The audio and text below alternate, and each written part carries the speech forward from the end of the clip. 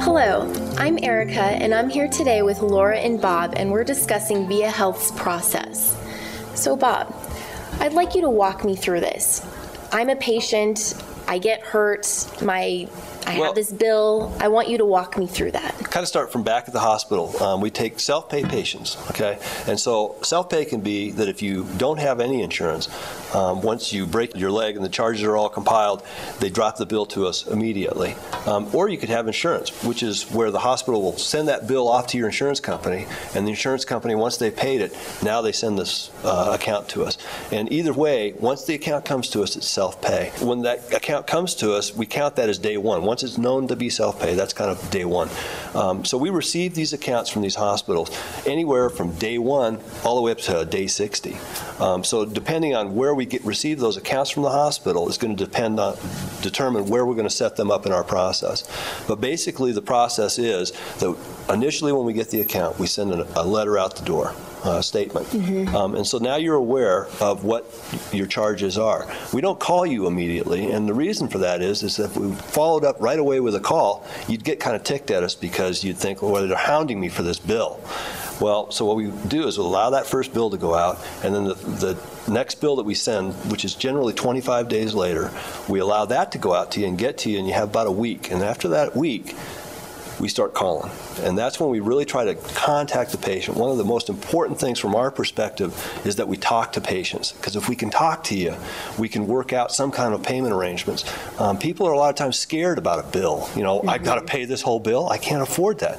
Well, one of the things that we do is try to ease that pain um, and, and arrive at a payment solution that works for the patient.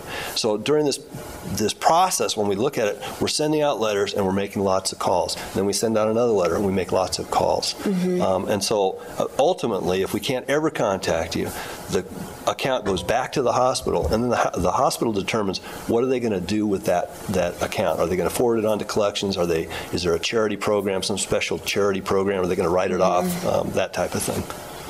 Okay, so you explained the process to me as as if I were a patient and I had to deal with paying a bill. Why don't you explain it from, from your perspective? Um, As far as uh, handling the patient, Just the process.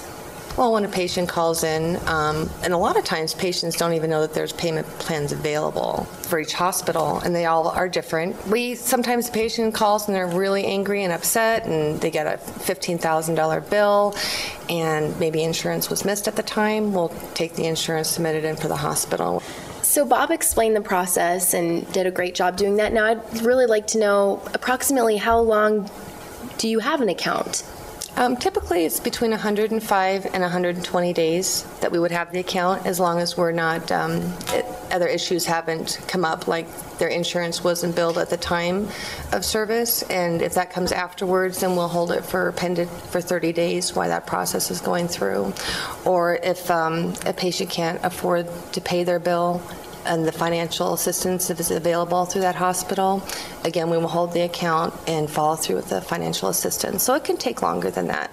But if everything has gone through um, smoothly, then it would, that time frame would be right. And the 120 days is pretty important because there's a requirement, federal requirements on, on how long you process certain types of accounts like Medicare, Medicaid. Okay. um, And how long you work, work those accounts before they're ultimately returned to the hospital and then the hospital makes a final disposition on those. Okay, so you're bound by those. Right. One of, one of the things that we have to do, we have to make sure during that whole process is that we follow um, the truth in lending laws, um, all, all the types of, there's a lot of other hands in the pie, if you will, federal agencies and that type of thing that uh, control a lot of what has to occur. Um, and so we make sure that um, our system is designed around a- asking the, the appropriate questions of the patients and making sure that we're dealing with the accounts in an appropriate manner. Great. Well, thank you both for being here to discuss ViaHealth's process. It was wonderful talking with you, Laura and Bob. So thank you. Thank you.